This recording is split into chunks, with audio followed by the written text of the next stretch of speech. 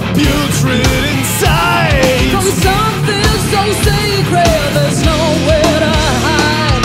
Completely disgusted, just thrown off your feet. The nose and the wise at the moment.